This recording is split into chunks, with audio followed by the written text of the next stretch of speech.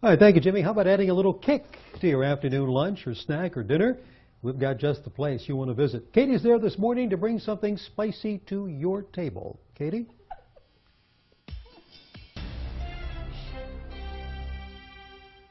Hi, Len. Good morning. We are live in Hubbard taking the Daybreak Nation on location at Too Hot Mamas, a new business here in Hubbard. And I'm here with Christina and Audra again. Good morning. Good morning. Good morning.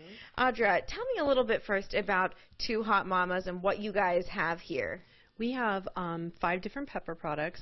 Mm-hmm. Our location, we can and sell our stuff in our storefront. So we have our different, we have our seasonal, our strawberry butter and zucchini relish. And on the next tray, we have our pickled peppers, our hot pepper mustard, and our hot pepper rings and sauce. Wow, very nice. And something also that we did want to talk about is you guys make up cheese trays for people so they can call ahead and order these. Oh, yes. Oh, yes. Um, call anytime. We can make it right there on the spot for you. Mm-hmm. Um, you know, and uh, three different sizes. So, sure. so this isn't this isn't exactly the representation no, no, no. out there. Usually no, they're a lot bigger. No, no, no. That's just a little teaser. All right. And then something else I wanted to talk about. You guys actually sell some different products here from other local people. So tell me about the one that we have right here.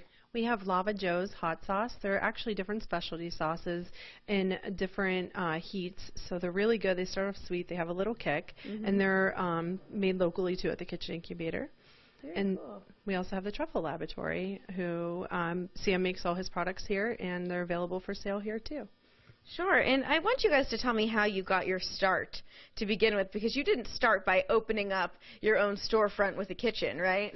Right. We um, started canning at home with our families um, just for something to do, a hobby. We were sick of buying peppers in the store all the time, so we wanted to try it for ourselves, and it just took off from there.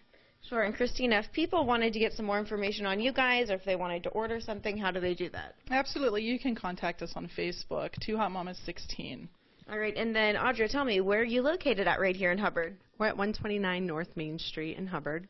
All right, you guys, and make sure to check out our website. That is WYTV.com. We're going to post a link there for you to check out their Facebook page. Reporting live here this morning in Hubbard, I'm Katie Dugan.